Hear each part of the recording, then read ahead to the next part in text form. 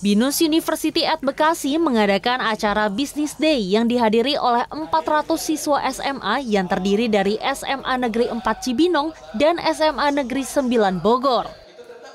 Dengan belajar dari kacamata mahasiswa Binus University yang sukses menorehkan prestasi, siswa-siswi SMA pun diharapkan dapat merasakan langsung bagaimana mengenyam pendidikan di Binus University. Manfaat belajar di Binus University itu pun terbukti lewat perjalanan para alumni Binusian yang tidak hanya sukses mengembangkan diri, namun juga meniti karir sesuai dengan passion mereka.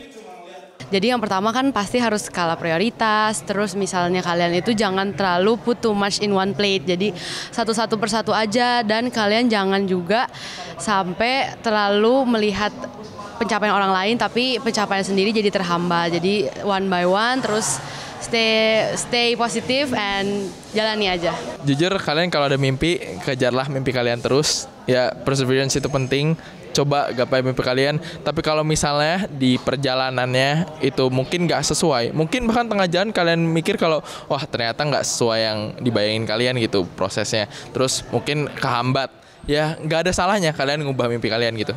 Ada jalan lain dan akhirnya jujur jalanin aja teman-teman di sini uh, harapannya bisa menentukan kampus yang tepat buat teman-teman gitu ya dan menentukan masa depan yang baik karena tentunya uh, perjalanan karir teman-teman, perjalanan uh, bisnis teman-teman atau apa pun itu teman-teman itu akan berpengaruh dari kampus dan jurusan yang teman-teman pilih.